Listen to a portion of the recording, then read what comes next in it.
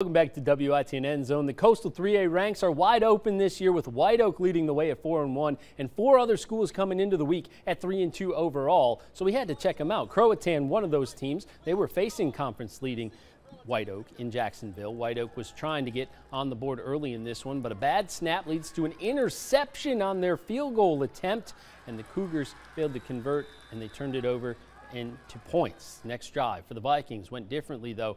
Taravian Maggio is taking the handoff and he's going to the house. White Oak would lead seven to nothing in the game. Later on in the second quarter, the Vikings would get a field goal, extending their lead to 10, and they would pull away from there to win it 49 to nothing at home. They'll be on the road at West Carteret next Friday.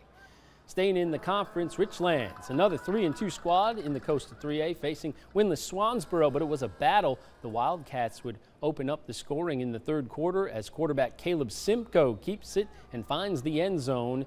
They would botch the extra point attempt and Simcoe is going to find it and then he runs it in for a two-point conversion instead. So Richlands now up 21 to nothing. There's 21 to 7, I believe, and the, their student section was hyped up. Third quarter, coming now. Simcoe dropping.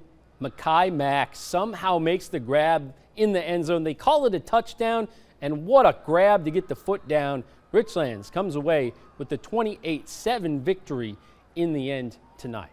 Nash Central looking like a tough force in 2A again this fall, trying to keep the pace in the conference against Rocky Mount. The hometown Bulldogs off to a good start. Their own 40, a toss to Winston Lee, caught by D'Angelo Johnson. Then the Gryphons, they, they move to the right, and he's going to get some more yards, Isaiah Finkley, and then James Rogers rolls in, and he gets the touchdown. So there's the touchdown for Central 7 zip. Gryphon's Isaiah Silver would get them some redemption as he's going to take a big run back all the way to the house. That made it 7-7, but Nash Central continues their strong season in the end with a 28-10 win, and that's a nice one. One of the forces in 2A East this year, and we haven't showed them enough, is Clinton, the Dark Horses, playing at West Bladen. They're undefeated. Amaris Williams, 20 yards on the run, but gets credit for only four, and the Dark Horses were up 6 0. After another Clinton touchdown, the Knights' first play on offense. Whoops, Amari White can't handle the handoff scoop and score brought to you by Corin Blackwell. It was 20 to 6. They scored 64 points in the first half. 71 13 Clinton 6 0. Look out for those boys. Back into the 2A Eastern Plains, 5 and 1 Farmville Central Plain, 2 and 3 Washington. The Jags coming out of the half, pinned deep in their own territory until junior Elijah Abel breaks this one out, and look at him go. He ain't going to be touched. He gone. Farmville ahead 25 to 8 in the third. The Jags not letting up. They go for the onside kick.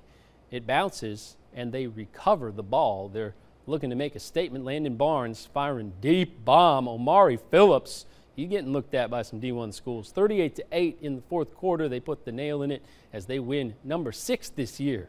Jags 38 to 8. Staying in the 2A Eastern Plains, Ayden-Grifton playing at Greene Central. No scoring in the first quarter. In the second, the Rams drove to the goal line, but the Chargers get a stand. Rashad Savage there on the play, and they would turn it over on downs. And he's like, where's this offense? Let's get going. Chargers drive the field as Ashton Watkins connects with Rasheem Johnson. He's taken down inside the five, and they would reward Johnson for the effort with the short touchdown run. And it was 7 0 AG. The Rams would get a big stop in the end zone at the end of the half. A pick by Michael Suggs Jr. Apparently, it fired him up because it was 7 0 AG at the half, but Greene Central wins 27 14. Congrats to the Rams on a big win. The Fossil Bowl on the line tonight. Pamlico County at Southside battled with each other, seeking their first win. The visiting Hurricanes quickly on the board. A touchdown run by senior Jaden Williams. The extra point was blocked, so it was 6 0 Pamlico, but the Seahawks quickly responded. A lot of scoring in this one. Taquan Moore finishing off the run. Look at the cut. He gets a nice celly at the end of this, too. It was 7 6 Southside. They don't look back as they go on to a big win 54 20. Southside wins the Fossil Bowl. And some great plays made out there week seven. So let's take a look at the top plays we got while we were out there tonight. New Bern bouncing back, a homecoming win, but Ivion Smith, couple picks, and the one hand pick.